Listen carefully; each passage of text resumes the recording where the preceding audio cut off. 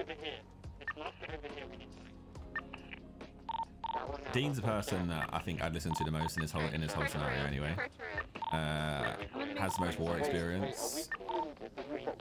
Has uh, Pog! real life experience in a way. Yeah? So Pog. True. Okay. Um, that one should be. ABC, honestly, it might be easier. If we have C block and we have